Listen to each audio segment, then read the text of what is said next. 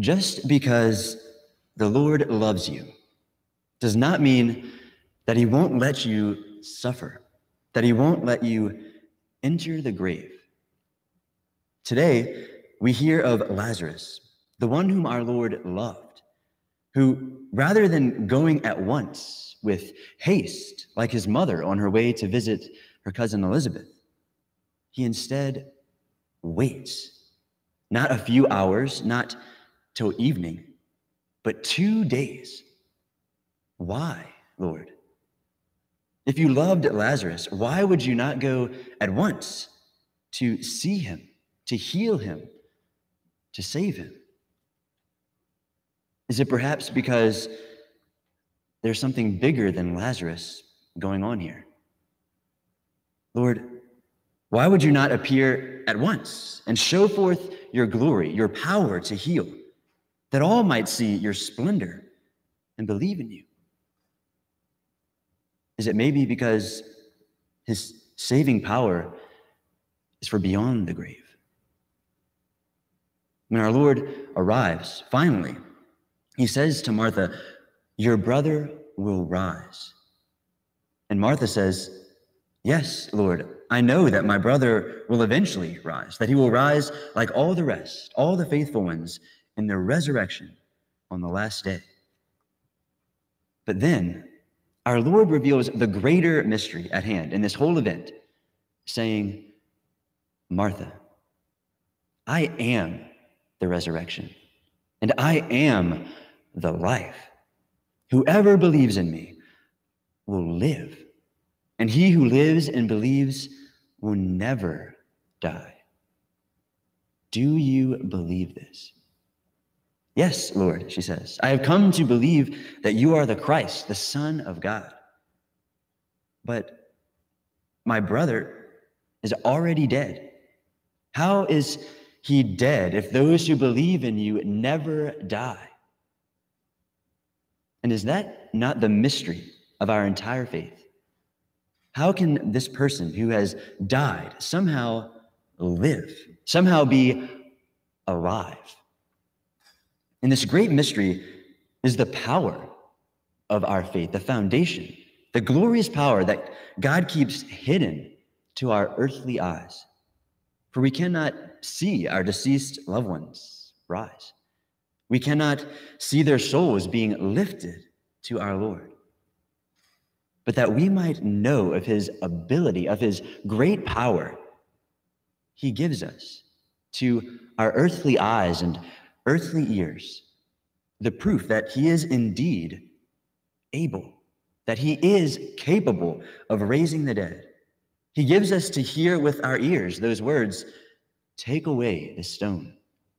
Lazarus, come out and to see with our eyes this young man whom we ourselves buried, now standing, walking, now very much alive. To see with our eyes this Lazarus, this sign of things to come. Lazarus, this glimpse of glory. Lazarus, the example that we are to follow.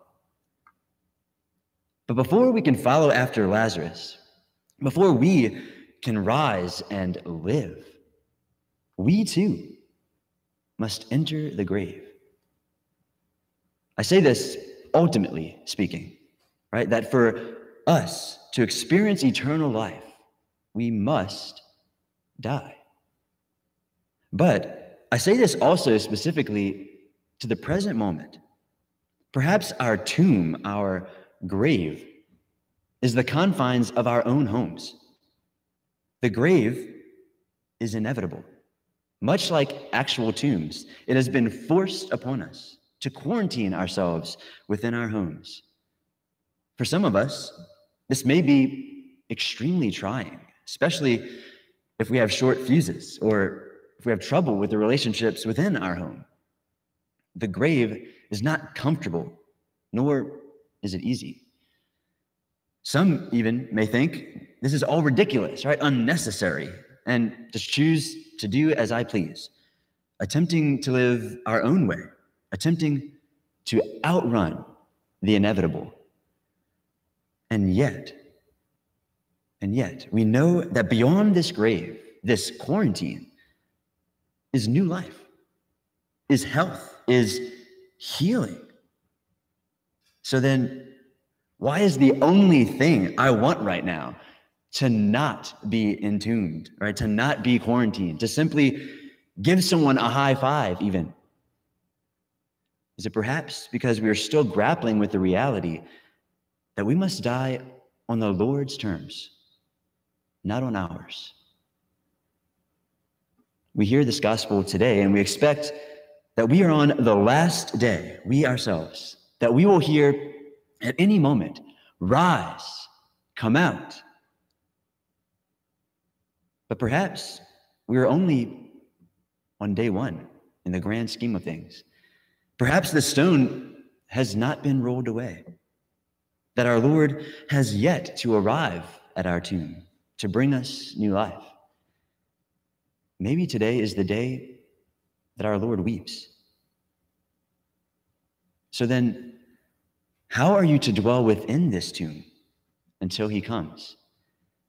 When Lazarus was awakened, when he, he rose and walked, there was no stench but the sweet smelling scents of myrrh. There were no horrid sights or sounds or moaning, but the graceful appearance of a resurrected man in dazzling white.